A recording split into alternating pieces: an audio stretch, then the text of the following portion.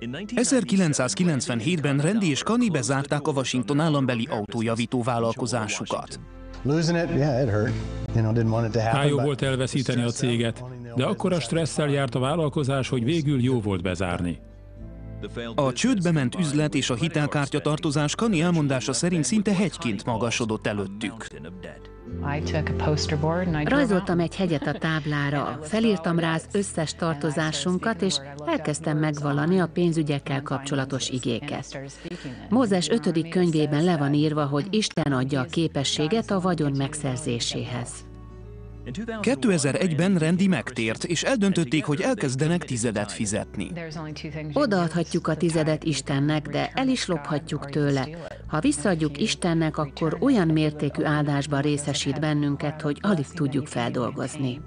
2005-ben Randy ismét saját vállalkozásba kezdett, Kani pedig azért imádkozott, hogy legyen némi pénztartalékuk. Azt mondtam, Istenem, jobban érezném magamat, ha lenne legalább három hónapra való pénzügyi tartalékom a bankban. A három havi tartalék 9000 dollárt jelentett. Egy házas pár az új vállalkozásukhoz ajándékba adott nekik pénzt minden kötelezettség nélkül. Átadták a tízezer dolláros csekket. A tized befizetése után pont annyi maradt nálunk, amennyit Istentől kértem. Új autójavító vállalkozást indítottak. Miután Istenre bíztuk a vállalkozásunkat, folyamatosan egyre nagyobb áldásban részesültünk. Ő gondoskodik rólunk. Csak bíznunk kell benne.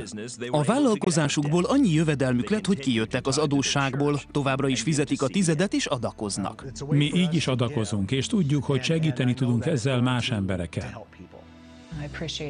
Őszintén értékeljük a 700-as klubot, mert gyorsan ott vannak a földrengések és más katasztrófák helyszínén, hogy Jézus nevében segítsenek az embereknek. Nagyobb műhelybe költöztek, és két új alkalmazottat is felvettek. Ő gondoskodni fog, ha fizetjük a tizedet. Velünk megtörtént, és mások életében is ezt látom. Az áldás így működik. Ő egy gazdag Isten, a pénzügyeink fölött is úr. Az Efezus 3.20 a kedvenc igém. Aki véghetetlen bőséggel mindeneket megcselekedhetik, jobban, mint kérnénk vagy gondolnánk. Ezeknek az alapelveknek köszönhették anyagi helyzetük jobbra fordulását. Ha nem fizetsz tizedet, magad alatt vágod a fát. Abból tiszteljük Istent, amit tőle kaptunk, és abból adakozunk másoknak is. Isten pedig gondoskodik rólunk. Ő gondoskodni fog.